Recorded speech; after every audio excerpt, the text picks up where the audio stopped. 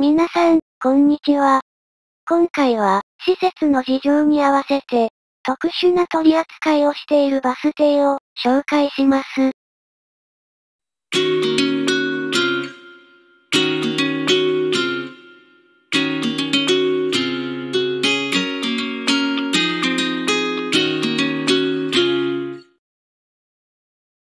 そのバス停は、東京都神津島村にある、神津島村営バスの、タコワンキャンプ場入り口、バス停。バス停紹介の前に、神津島を知らない方もいると思うので、簡単に紹介します。神津島は東京から169キロ離れた、伊豆諸島の島で、人口は1800人ほど。星空が綺麗に見れるということから、日本で唯一、星空保護区に認定されており、映画、天気の子の主人公の故郷となったことから、近年では聖地巡礼する観光客も多く訪れるようになりました。また、火山島ですから、温泉もあります。さて、このバス停の話に戻りましょう。このバス停はその名の通り、都立タコワンファミリーキャンプ場の、最寄りとなるバス停なのですが、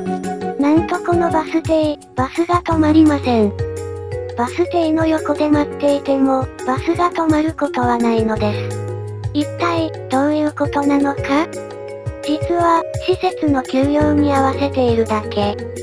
2021年2月現在、このキャンプ場は、新型コロナウイルス感染拡大に、伴い、臨時休園となっているのです。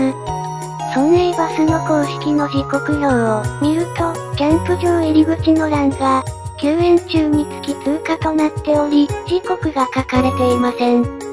バス停が隣接施設の都合によって、影響を受ける例は、第1回の、素嵐坂上バス停のように、珍しいことではありません。ですが、このバス停は、特殊な取り扱いをしています。その特殊な措置というのが、戦術した通り、バス停にバスが止まらないというもの。このバス停からの乗降は一切不可という仕様になっています。つまり、乗車客がいても通過する、ということです。のバス会社なら、たとえ施設が休養中であっても、周辺住民のために、利用客がいれば、それが収益につながるわけですから、乗せるのではないでしょうか。なぜ、このような措置を取るのか、理由を考察してみました。バスは島民より観光客の利用が多いのではないかということ。キャンプ場を通るバスは、神津島港からタコ湾まで行く途中、キャンプや空港などを通りますが、商店や空港に行くのに、わざわざ、時間が決まっているバスに乗って、行く人はいないでしょう。やはり、島の人は自動車を使うのではないのでしょうか。また、上記の通り、自動車を使う人の方が、多いという視点から、キャンプ場の従業員の、通勤需要も認めないのでは、と思います。このことから、村営バスの担当者は、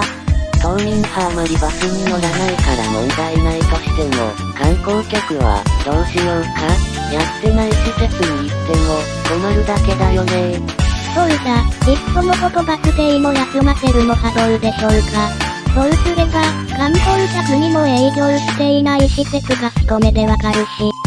事前に確認してないお客さんも、通過扱いの旨を説明すれば、降りてがっかりしないし、納得してくれるんじゃないでしょうか。それ、いい考えだね。なんて、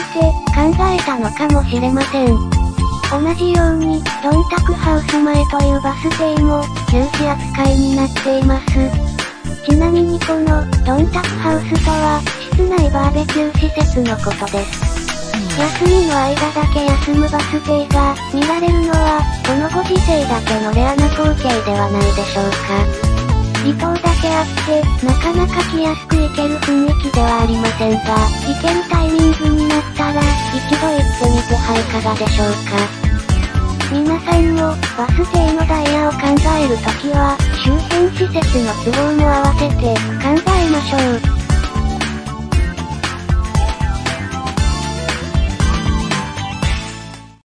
最後に皆様にお知らせです。このシリーズがもうすぐ20回を迎えます。これを記念して、質問コーナーをやりたいと思います。今回の動画と、18、19回に寄せられた質問に答えようと思うので、皆さんどうぞ、くだらない質問でも構いませんので、コメントお願いします。うぷ主からのお知らせでした。ご視聴ありがとうございました。